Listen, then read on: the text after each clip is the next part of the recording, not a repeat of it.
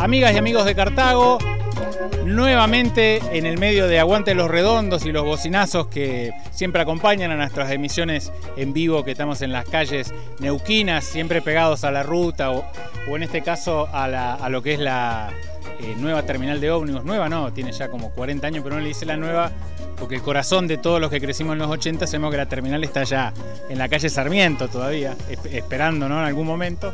Bueno, eh, en esta parte del programa vamos a, ahora sí, de actualidad provincial, eh, en horas, a medida que salga el programa, eh, se van a realizar las elecciones dentro del Consejo Provincial de Educación, un tema recurrente en una Neuquén llena de conflictos prácticamente provocados incluso por el gobierno provincial. ¿Por qué eh, me atrevo a utilizar el término, el término provocados? Primero porque en este Neuquén que tiene mucho que ver con una situación bastante paradójica, casi un oximorón. Fíjense, los representantes hoy, políticamente hablando, del diálogo y de eh, el superar los conflictos son los sindicatos. Tanto el gobierno, eh, a través de sus gángsters mediáticos, ¿no? que incluso se dan el lujo hasta de dar direcciones eh, de domicilio de los dirigentes sindicales. Un acto típico de los gángsters mediáticos neuquinos, ¿no? bancados con plata del Estado. Eh, tanto a través de esos gángsters como a través de eh, sus funcionarios y sus ministros, permanentemente utilizan desde el desdén típico del funcionario arribista hasta la permanente mirada inquisidora sobre los reclamos justos y necesarios de la mayoría de los trabajadores en la República Argentina, en este caso Neuquén, y que tienen que ver con el Estado. El trabajador estatal, la trabajadora estatal, permanentemente eh, señalado, permanentemente denostado, ¿no? que son vagos, que viven de arriba, que viven de licencia, todos los tópicos que tienen que ver precisamente con la clase política que hace eso, con la clase propietaria que se incrusta dentro de este, los ministerios y que sobrevive en base a eso que precisamente acusa a los trabajadores sindicales. Por eso digo que es muy paradójico. El gobierno provincial jamás ha tenido un espíritu de diálogo y siempre utiliza hasta la confrontación con los trabajadores cuya última herramienta termina siendo el reclamo, como es por ejemplo eh, eh, el tema de las huelgas por tiempo indeterminado o de los cortes de calle o de las medidas de fuerza. En ese, en ese contexto, en Neuquén estamos entrando hoy en la elección a eh, vocales por la representación dentro del Consejo Provincial de Educación.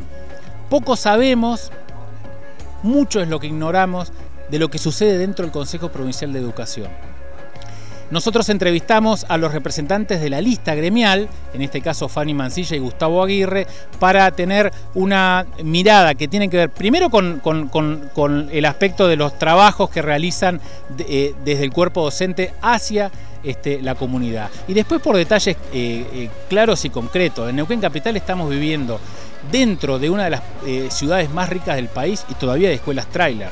O nos enteramos, no sé, que se siguen alquilando este, casas a precios exorbitantes en vez de construir escuelas, o la situación de que hay que acampar eh, días como para tener este, una vacante en la escuela pública, en el jardín público. Esas situaciones que contradicen precisamente las tonadas este, eh, macristas que siempre ufanan desde el gobierno provincial, en la cual no hay conflicto, nunca hay ningún motivo para reclamar, entonces los trabajadores, las trabajadoras terminan siendo una vez más el símbolo de la desidia, el símbolo de la violencia inclusive.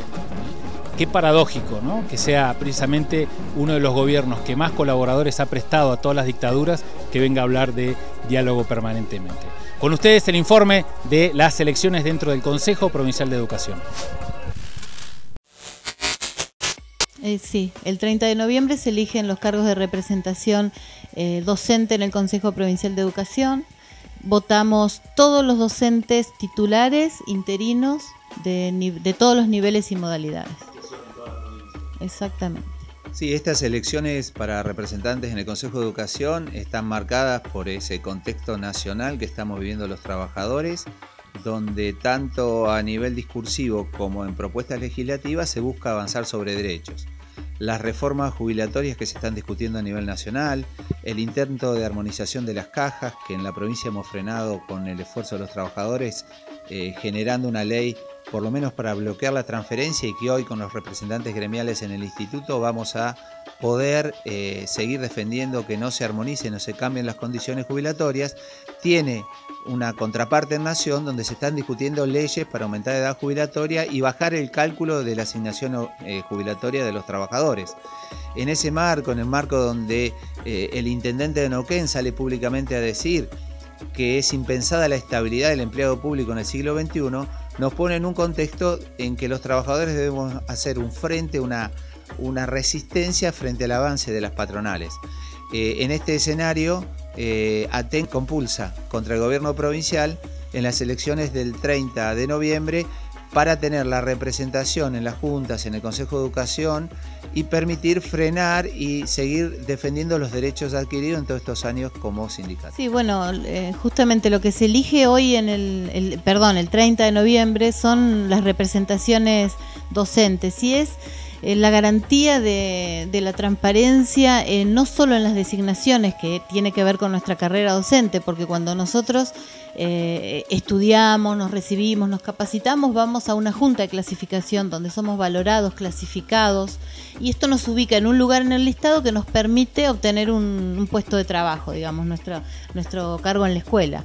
Y esto lo da la junta de clasificación, ese es el lugar donde nosotros, por ejemplo, tenemos eh, mayoría, representación gremial, representación docente. Sí, en una entrevista pública, eh, el intendente de la ciudad, que es referente político de una corriente nacional que gobierna el país y que propone estos cambios legislativos, eh, planteó la necesidad de poner en cuestión la estabilidad laboral del empleado público.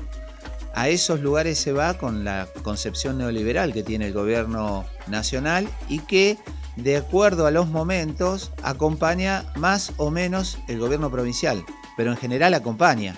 Por lo tanto, en este contexto tenemos la falta de respuesta a los trabajadores estatales en sus demandas, tenemos la nueva judicialización de la protesta contra los dirigentes sindicales y tenemos el intento de, de, querer sacarnos los espacios de representación que tenemos en el Consejo cuando presentan listas que se llaman independientes y no son más que representantes o más representantes del Ejecutivo en el gobierno del sistema educativo. Por eso, para cualquier trabajador que quiere defender su derecho, es eh, muy importante en esta elección que las listas eh, sindicales que representan los derechos de los trabajadores ganen. Y no solo ganen, ganen con un porcentaje altísimo para permitir que en los espacios eh, de gobierno del sistema tener mayoría, por ejemplo, donde se construye la transparencia de la designación del personal, que es la Junta de Clasificación. Eh, los otros cargos, como la Junta de Disciplina, los vocales del cuerpo colegiado, intervienen directamente en todas las definiciones pedagógicas y, de política pedagógica que tienen que ver y que, están en las escuelas. El Consejo sirve para tener la voz de, las, de los trabajadores y de la comunidad y que no exprese la voz educativa solo el Ejecutivo a través de un ministerio. En esa concepción se hizo el cuerpo colegiado, representante de los docentes, de la comunidad, del Poder Ejecutivo. Lamentablemente, como contrapartida a esa autarquía del Consejo, entonces hay una dualidad en el gobierno educativo. Lo que está por ley provincial, eh, avalado por la Constitución, que es la ley 242 en la provincia, que regula un cuerpo colegiado, y el intento del Ejecutivo de definir políticas del Ministerio. En esa tensión eh, se desarrolla la actividad educativa. Mientras los recursos no llegan de la manera suficiente para poder administrarlo al Consejo, el Ministerio tiene una caja económica y política que lo pone en el lugar de ser árbitro por fuera del debate de día a día del funcionamiento escolar. Es, es un trabajo eh, en red que se hace, ¿no? Desde el Consejo de las escuelas, los equipos directivos, las compañeras y los compañeros, los padres, los alumnos. Es un, es un espacio de, construcción importantísimo. Y la representación gremial, por eso es una articulación entre el sindicato y los cargos eh, en este lugar. Por eso eh, muchas veces la comunidad eh, expresa eh, su enojo contra el Consejo de Educación, que es legítimo por la falta de respuesta, pero por otro lado el gobierno provincial, desde Economía o desde el Ministerio, no habilita los recursos. Entonces, estamos en un doble frente, en querer gobernar democráticamente, pero por otro lado, eh, para la política real, restringirle los recursos de la política del MPN. estos cargos solos, sin el sindicato, tampoco tendrían el peso que tienen en las, en las definiciones. El tema edilicio es un tema crucial que depende de los recursos.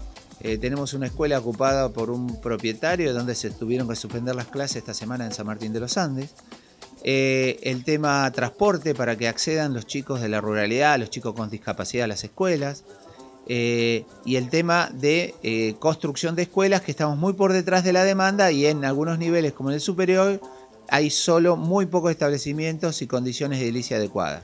En el cuerpo colegiado sí estamos en minoría porque en caso de empate la presidenta tiene voto doble. Pero en las juntas de clasificación estamos en mayoría. Históricamente eh, la lista gremial ha sacado el 80% de los votos y esto nos permite, obviamente, que las definiciones sean representativas de los docentes, porque el gobierno, que es la otra lista, ya tiene representantes en el Consejo legítimos, ¿no? que son la presidenta, los directores de nivel, los vocales de junta eh, elegidos por el gobierno. Pero ese presupuesto provincial que hoy se está discutiendo en la legislatura es el que va a determinar no solo qué tipo de ajuste salarial tienen los trabajadores en el marco del pacto fiscal firmado por los gobernadores recientemente a nivel nacional, sino también cuánto se va a invertir en cargo, en maestros de apoyo, en maestros integradores, para garantizar que los chicos con discapacidad estén en buenas condiciones en la escuela pública, eh, la creación de nuevas escuelas.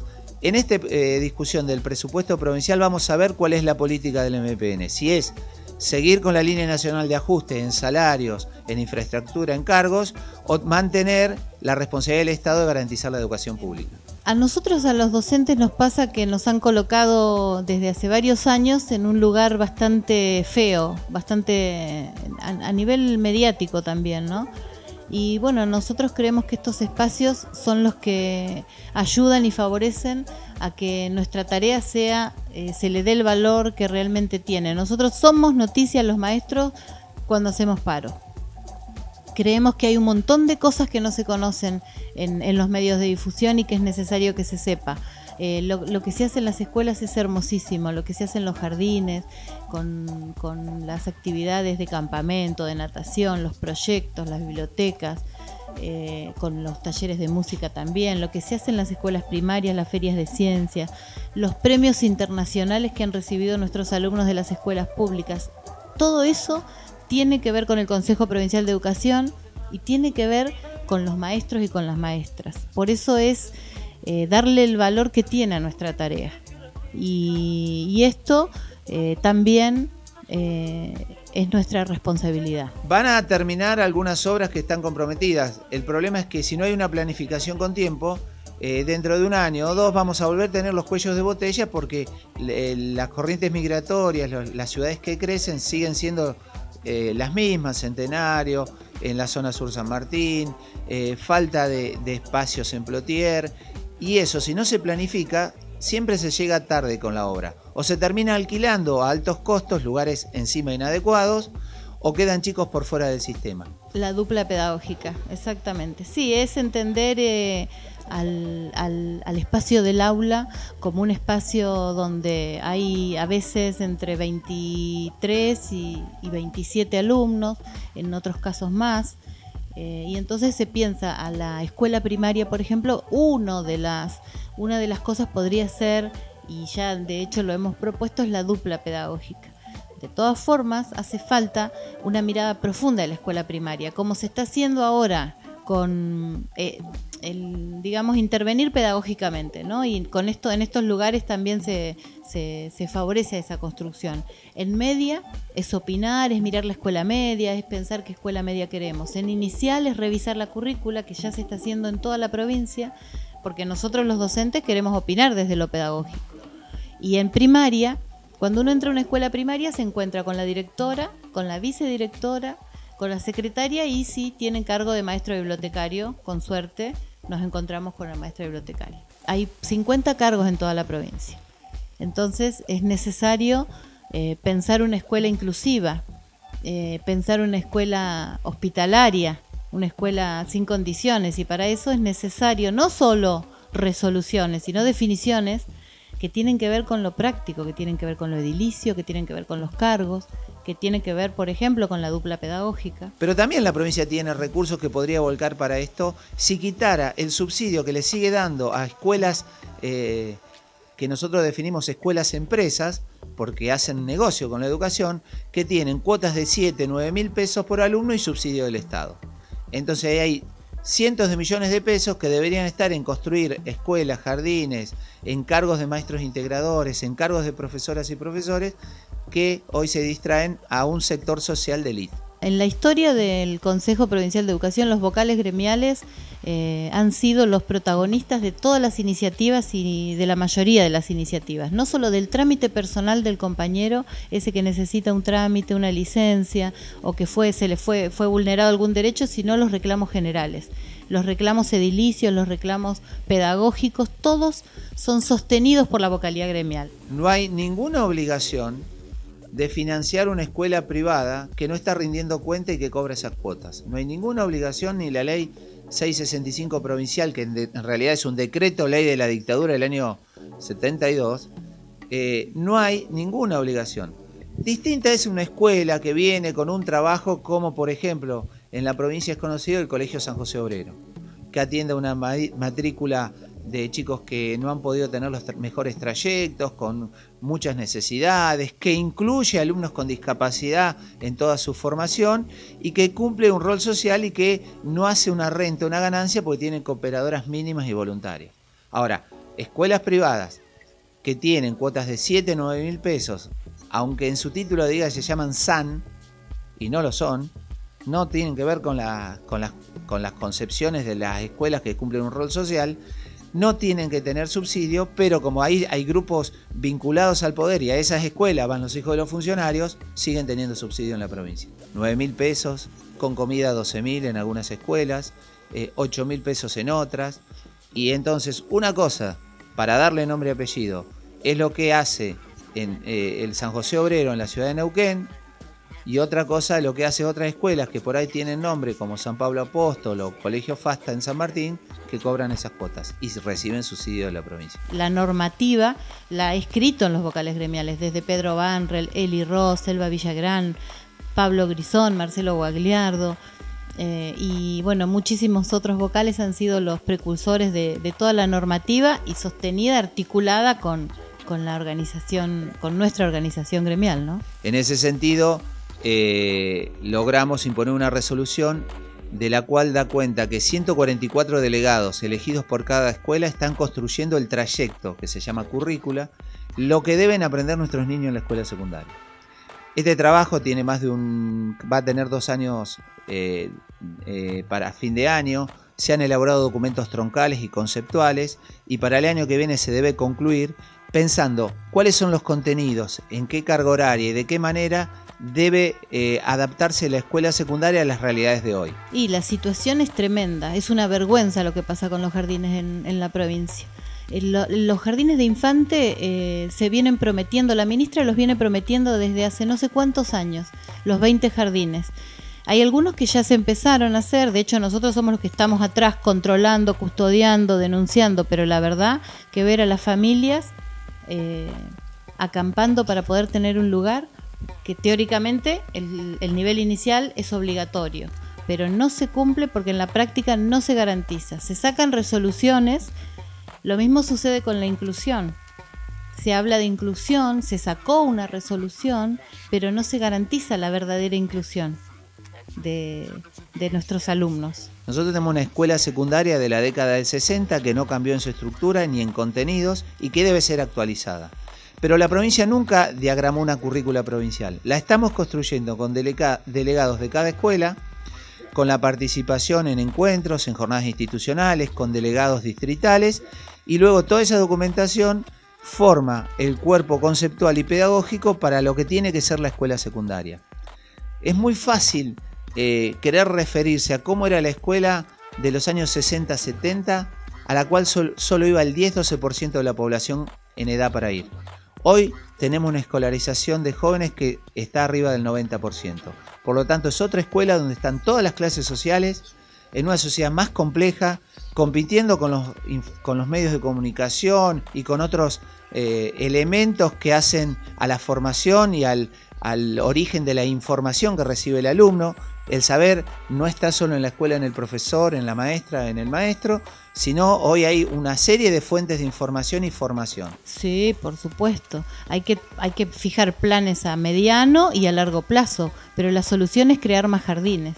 Eh, no puede haber un niño de cuatro años, de tres años que no tenga su, un lugar donde, donde asistir a un jardín. Esto se resuelve con presupuesto, obviamente, para poder construir los jardines y generar los espacios, los cargos y todo lo necesario. Y hay veces algunas fuentes de deformación, como decimos, algunos eh, sentidos comunes que instalan algunos medios de comunicación sobre las realidades. Simplificación de todo, no profundización de los conceptos, eh, etiquetar rápidamente con una adjetivación los hechos. Eh, y no tener la cultura de analizar y formarse una noción de qué es lo que pasa. La realidad puede ser leída de mil maneras. Eh, lo que yo tengo de darle a un alumno es todos los instrumentos para poder leerla de la manera más compleja posible para que adopte una posición. La que yo tengo, la que yo no tengo, pero tiene que tener la herramienta. Y no ser un repetidor de consignas, de eslogan, que corren al alumno del lugar de sujeto, de sujeto de derecho y hoy desde los 16 años de sujeto de derecho político total cuando ya están habilitados a votar. En el presupuesto está, en el presupuesto se trató, de hecho hay una ley que se aprobó, pero no está, no se lleva a la práctica o se demora muchísimo. En, en, localidades, por ejemplo, como Plotier, se ha avanzado, se hicieron jardines, pero no se concluyen las obras y demoran muchísimo.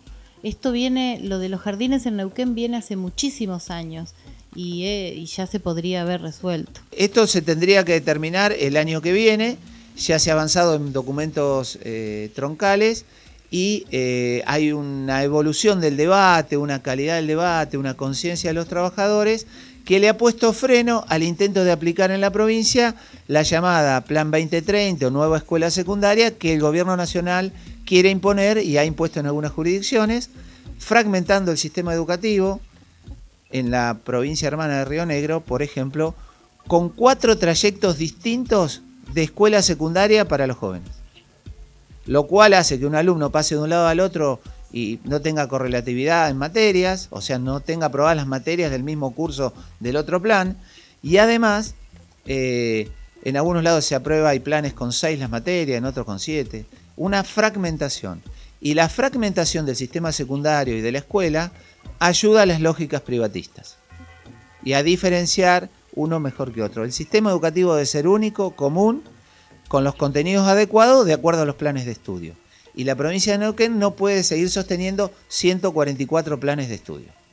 Esto debe resolverse y de esto somos conscientes los trabajadores de la educación. Sí, cuando, cuando aparecen los padres en escena se resuelve más rápido este, pero todo lo que pasa en las escuelas, en los jardines, la inscripción, las maestras, el censo, la proyección, eh, todo esto que se hace en las escuelas es un esfuerzo eh, extra de las compañeras y los compañeros. Ahora, por ejemplo, en la zona norte eh, ya hay, donde teóricamente se van a crear los jardines, ya están la, matrícula, ya están los chicos, ya están las inscripciones y todavía no está creado los jardines.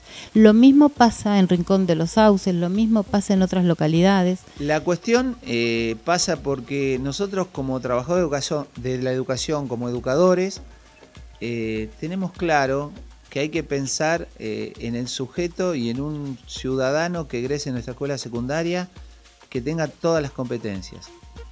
Para muchos funcionarios de gobierno, educación es un gasto. Y como gasto lo retasean. No hay inversión educativa en el sentido de un proyecto de sistema educativo a futuro. Son todos parches. Y la muestra más clara de esto es que en cada gestión de gobierno rotan y rotan funcionarios del Consejo de Educación. Llevamos tres directores de administración, dos tres directores de media, dos directores de primaria en dos años. Por lo tanto, el, gobierno no tiene una política a largo plazo estratégicamente y está resolviendo lo puntual. Y muchas veces eh, sin los recursos previstos, por ejemplo, para pagar transporte, infraestructura y demás. Entonces, como educadores tenemos la obligación de pensar un sistema educativo que no piense en mañana, que piense en la mejor formación de jóvenes por más de una generación. El gobierno está en el día a día, en el día a día de resolver la caja y no construye política educativa. Y además eh, es notoria la situación eh, de constante tensión interna de los propios funcionarios del gobierno, lo que dificulta la gestión. Y la tensión entre Ministerio de Educación y Consejo de Educación es permanente.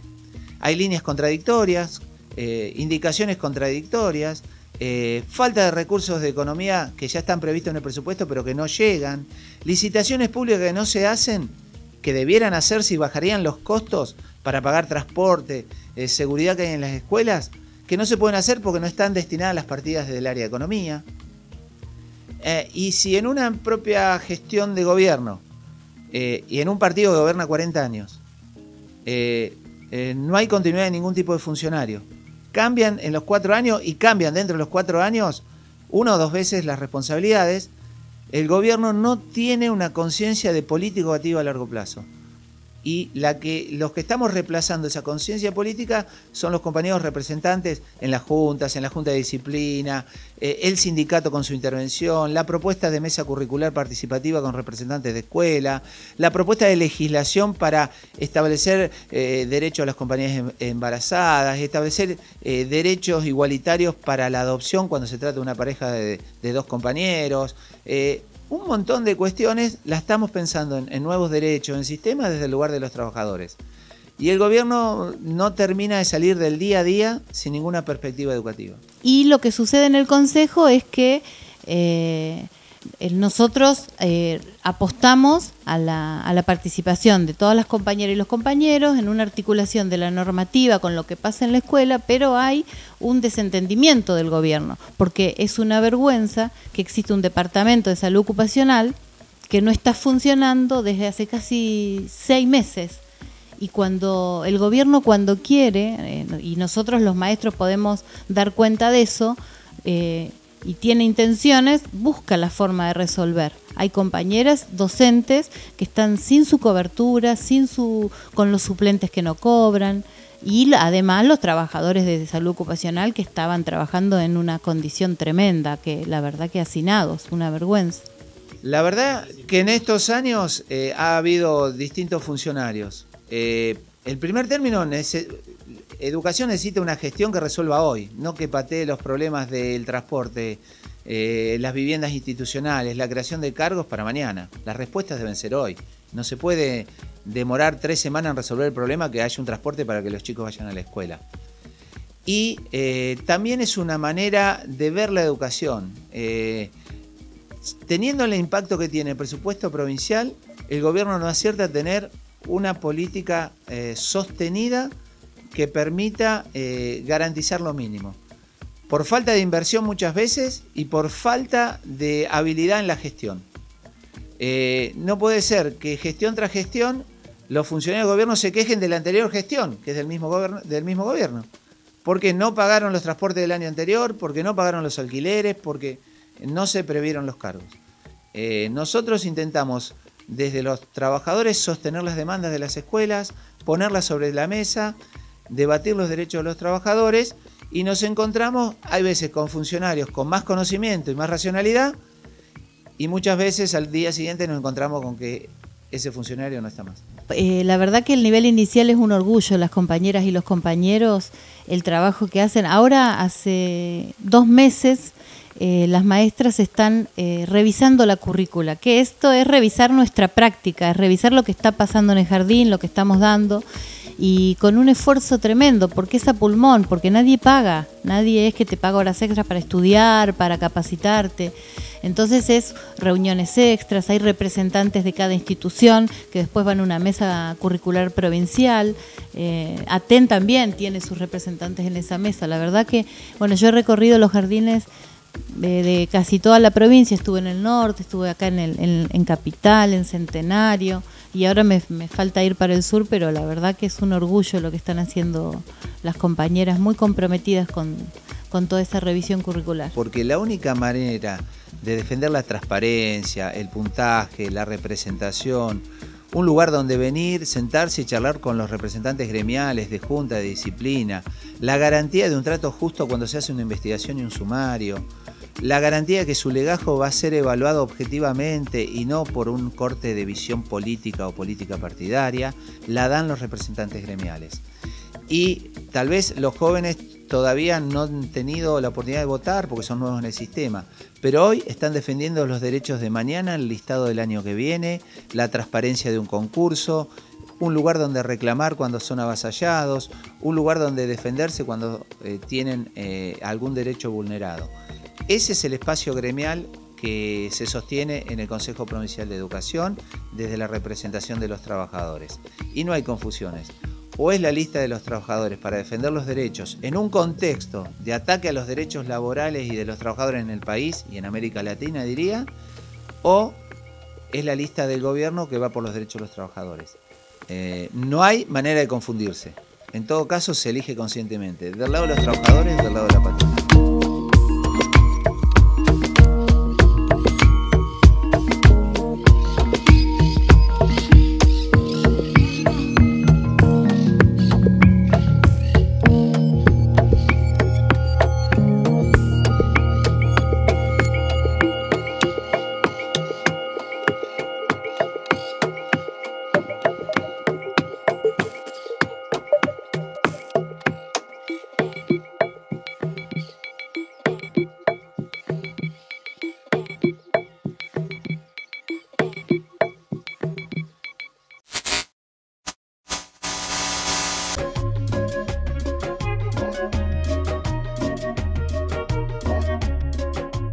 Momentos finales de nuestro programa.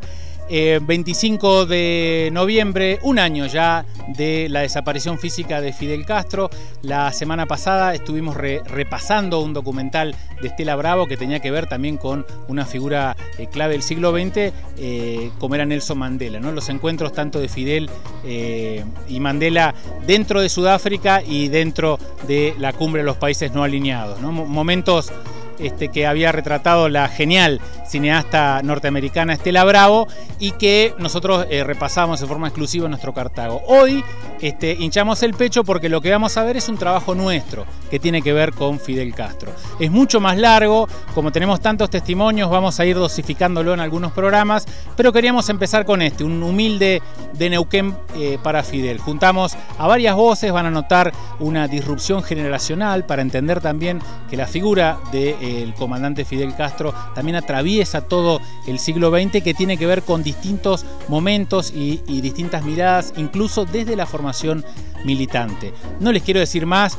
disfruten con nosotros de estos testimonios que tienen que ver no solamente con eh, la calidad de quienes han eh, eh, cedido su tiempo para participar en este proyecto de Cartago que se llama De Neuquén para Fidel, sino también celebrar como dice Alcides Bonavita, el haber estado en el mismo momento histórico en el que estuvo Fidel entender eh, eh, en qué circunstancias reaparece la figura de Fidel Castro una y otra vez en un eh, mundo tan descalabrado y que tiene precisamente cada cinco segundos la posibilidad de una nueva guerra nuclear, de un nuevo conflicto armado, de la reaparición del esclavismo con todo lo que ha sucedido en Libia después de la invasión de la OTAN, todas estas tragedias y esta violencia permanente que se ejerce contra el tercer mundo, los países productores de materias primas como nos refieren en el Fondo Monetario Internacional.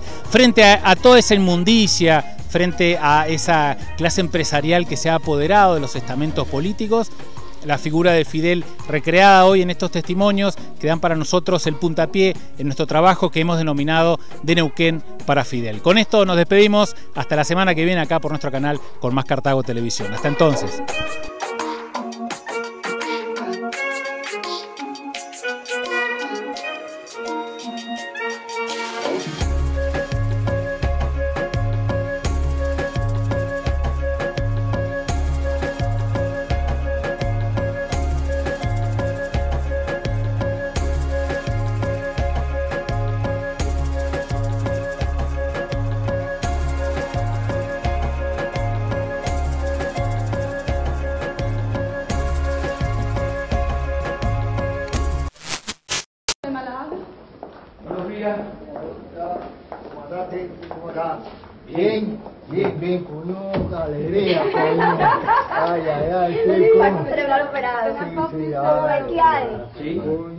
Melquiades. Es como Melquiades. He tenido un infarto cerebral. Il avait subi un infarctus Y estaba en mi cérébral. Ah, comandante, coño.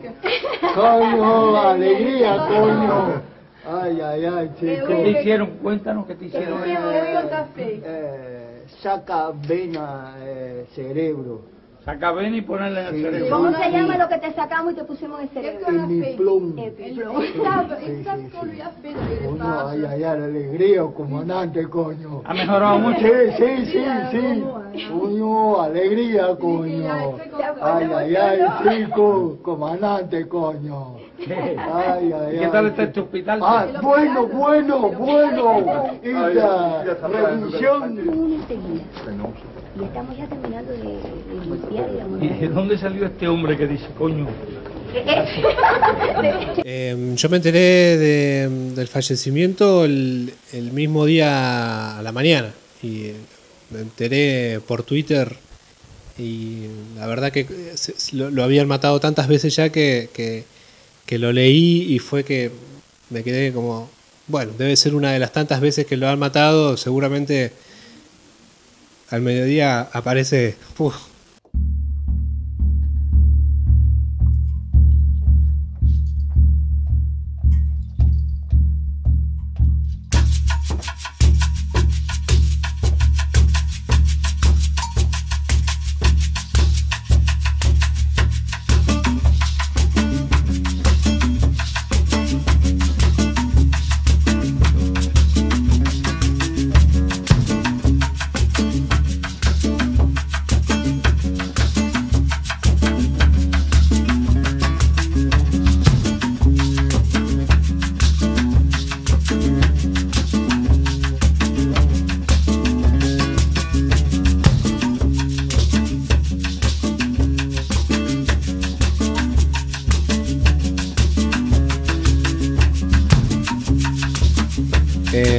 bueno, yo me enteré, sí.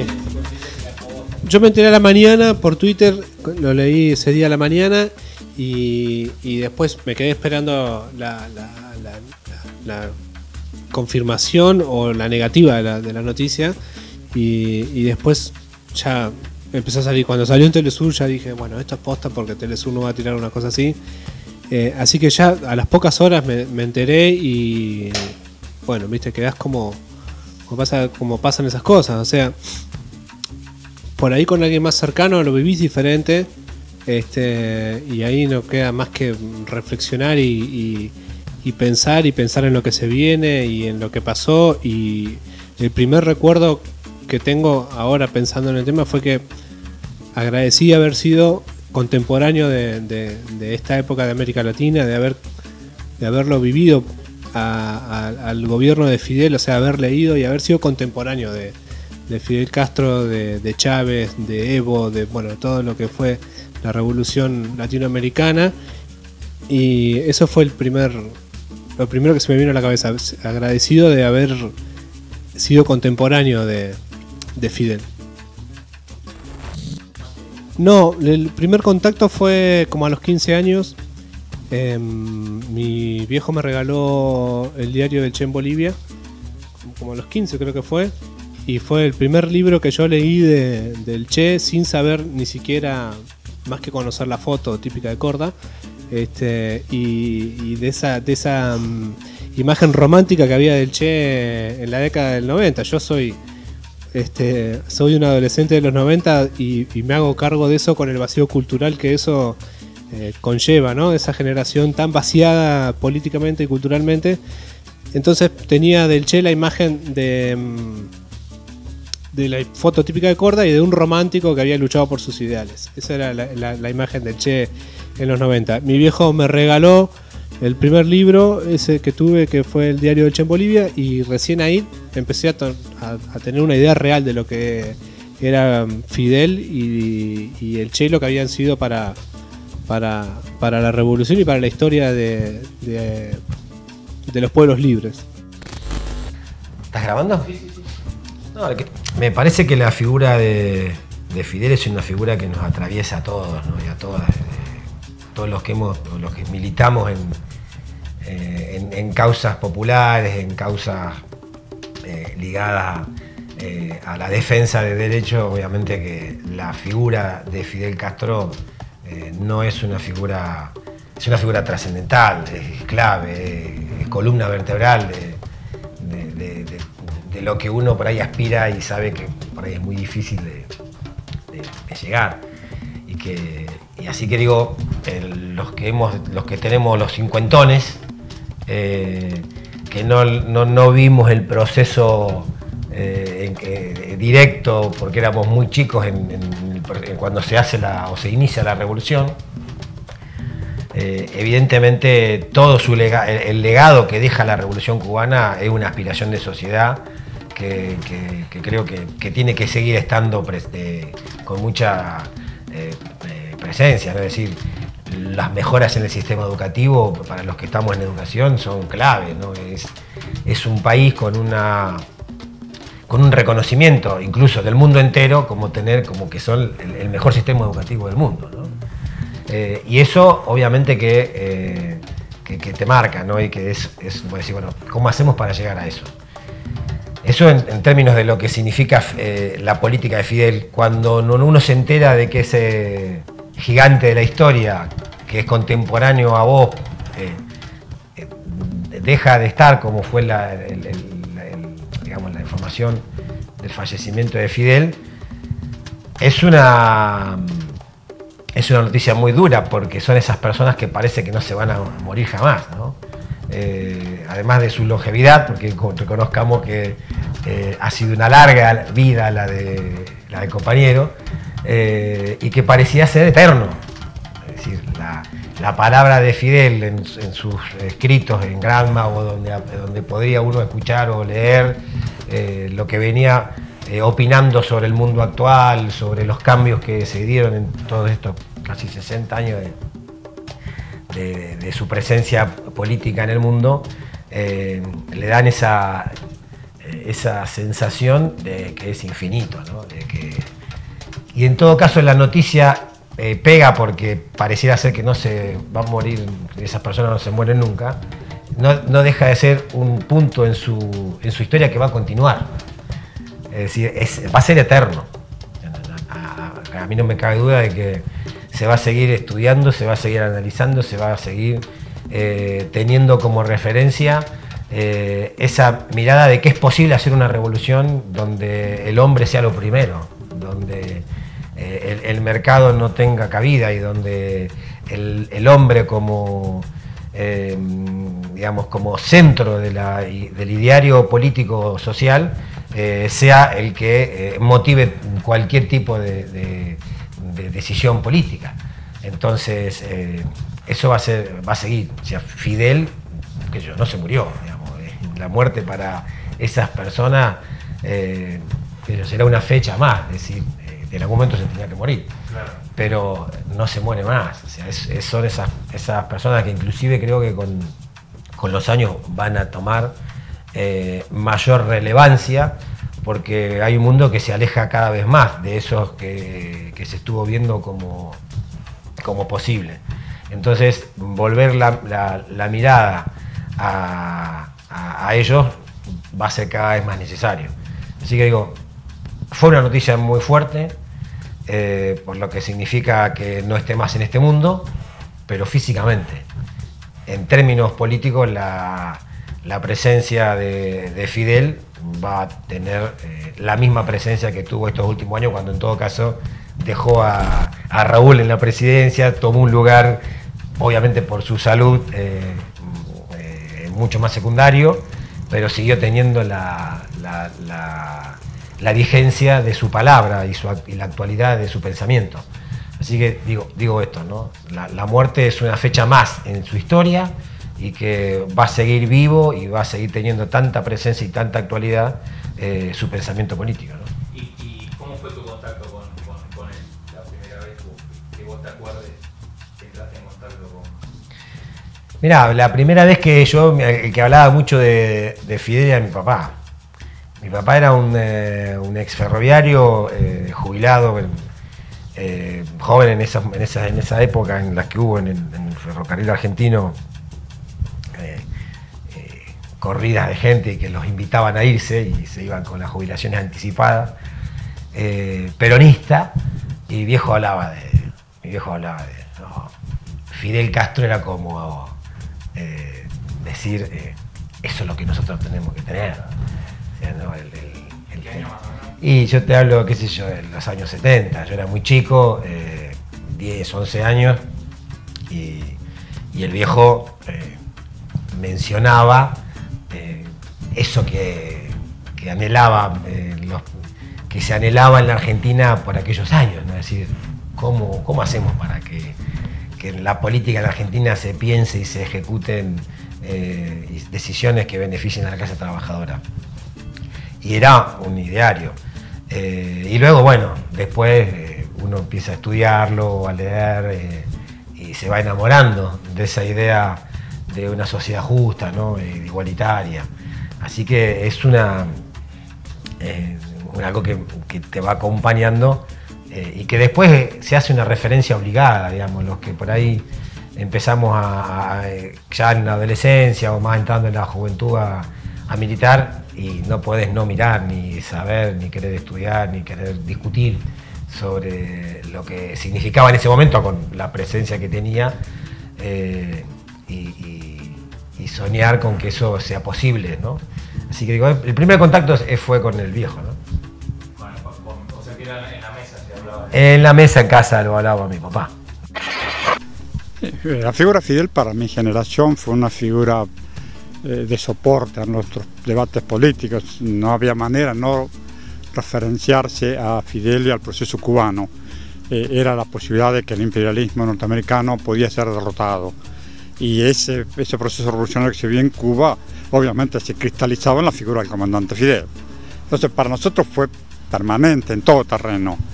Te digo más, fue no pocas veces sin ningún tipo de crítica. Había cosas que por ahí no nos gustaba, pues ya no, por algo, y hacíamos un voto de confianza y confiábamos en él. La primera información que yo tengo de Fidel es, yo nací, me crié en el campo y me formé con la cultura de la radio.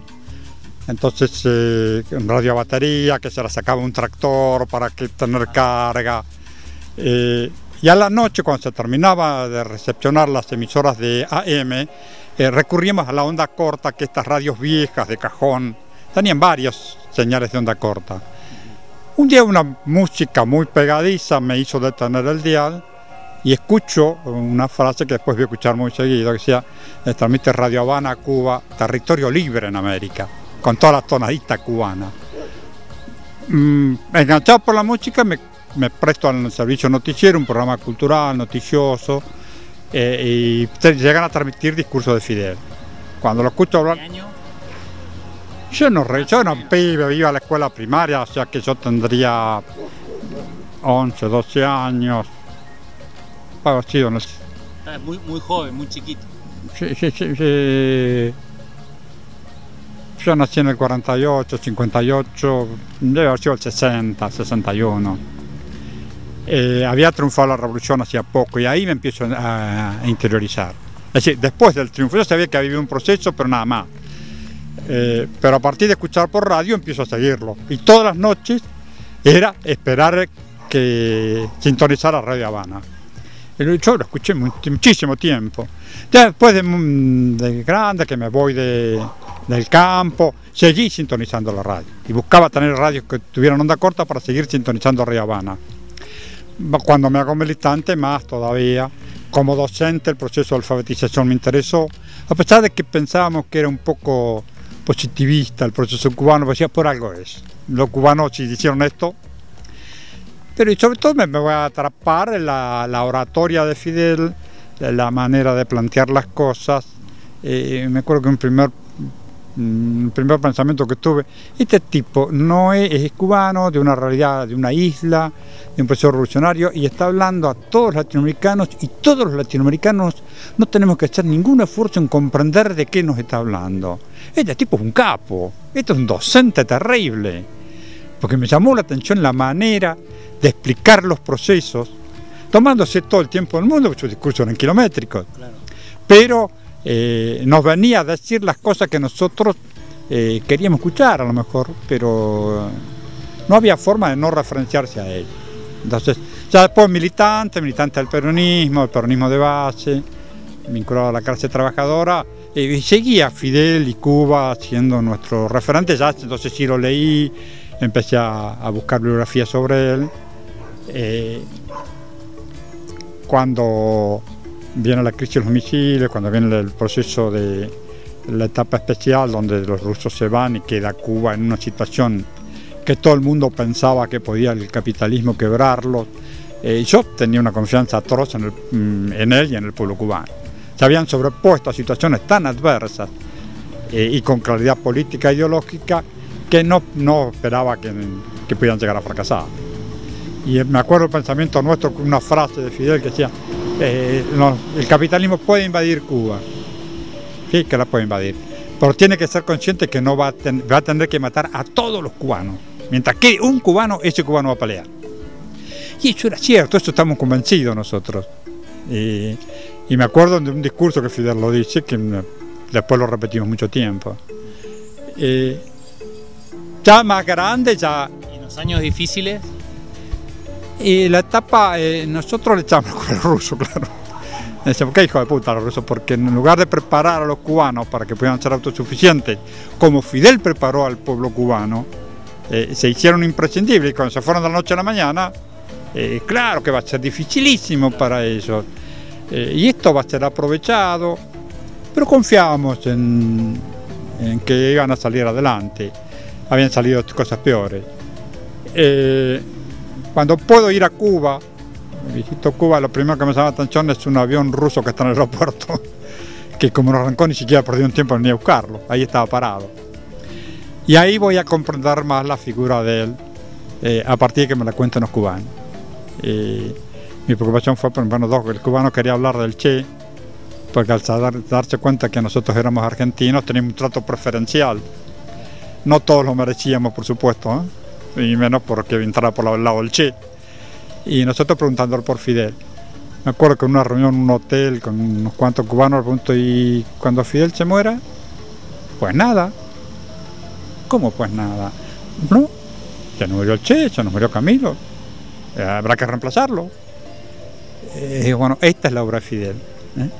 Que la gente no va a extrañar eh, su ausencia y que él está preparando al pueblo para cuando él no esté y de hecho eh, se dio el lujo de morir cuando se le antojara, por muchos atentados que el había programado la CIA, y eh, preparando a su pueblo para cuando uno esté que pueda, ser reemplazado.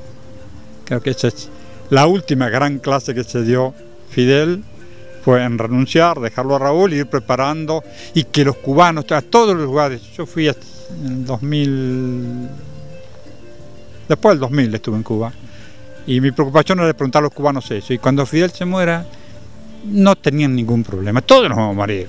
Claro. Habían naturalizado, pero además estaban totalmente convencidos de que lo iban a reemplazar. Bueno, esa era el, el último, la última gesta revolucionaria que había sido exitosa, ¿no?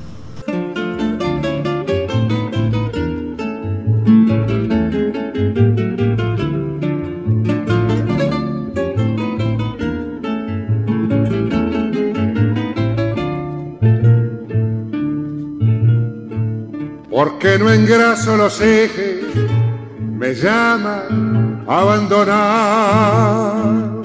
Porque no engraso los ejes, me llama a abandonar. Si a mí me gusta que suene, ¿para qué los quiero engrasar? Si a mí me gusta que suene, ¿para qué los quiero engrasar?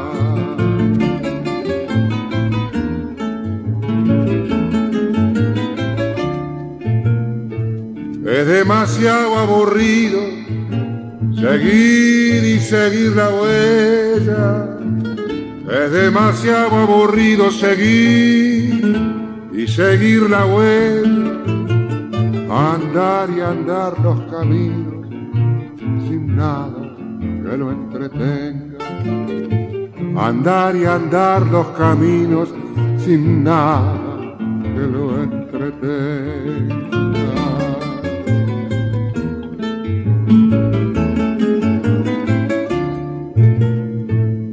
Necesito silencio, yo no tengo en quién pensar. No necesito silencio, yo no tengo en quién pensar. Tenía, pero hace tiempo, ahora ya no tengo más. Tenía, pero hace tiempo, ahora ya no tengo más. Los ejes de mi carreta nunca los voy a engrasar.